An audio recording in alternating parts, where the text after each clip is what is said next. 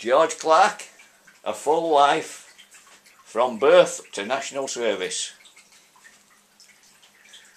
I was born the 1st of March 1939. It was a Wednesday, born at St Luke's Hospital, Bradford. Uh, the beginning of the war years. We lived in a little cottage at side of a pub down Preston Street in Bradford.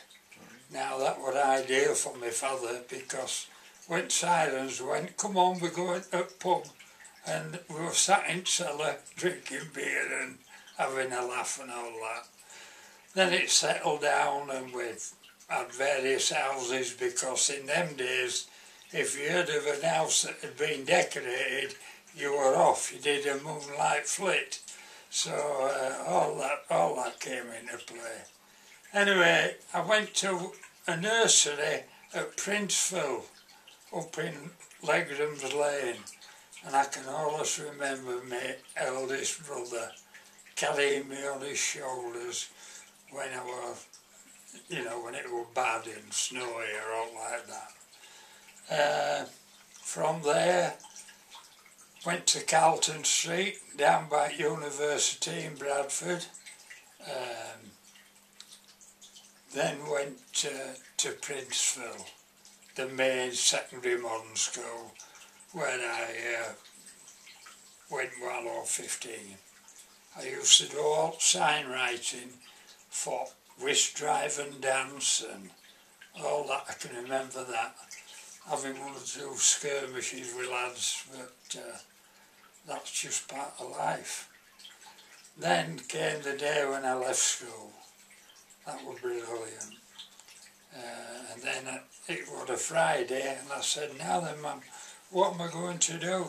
She said, you're going in mill with me on Monday. I said, I'm going in mill. Yeah, I said, well, why can't I have a trade like my brother having? How, John? No, you're going in mill with me. What it, what it was really, she wanted to show off my massive curly hair that I couldn't even comb to uh, her friends and that, and I used to go out for breakfast to cafe and order them and then go collect them and then learn about spinning machines and I was a jobber, uh, jobbing round and, and then he said, I'm going to promote you to a doffer. I said, what's a doffer? He said, when it's filled these bobbins, you go along line with a big tub and doff them into this box and then take them to spinners. So I did that and uh, was a nice uh, overlooker that I worked for. He, took me actually to Headingley to see Freddie Trueman. Well, he couldn't see out because he was that fast. It was just a movement behind wickets, but it was nice. Uh, are we all right as regards? And uh, then eventually uh, I got my way and I said, uh, can I go in engineering, ma'am? And she relented and I went to work at John T. Hardacres in Bowling Back Lane. Uh, following my brother, he was working there. He had an accident, he was throwing up a shaft and his long wavy hair fell down and got around shaft and pulled a big tuft off right up front.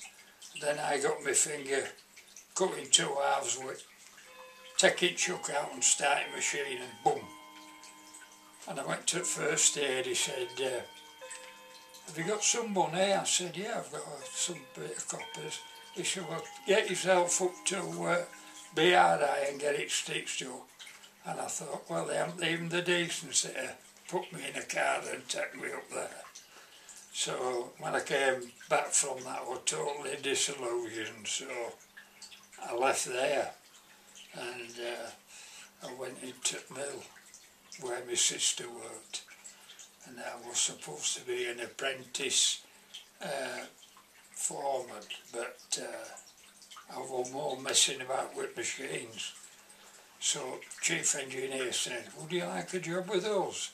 I said, oh, I'd love a chance. And then I became a mechanic.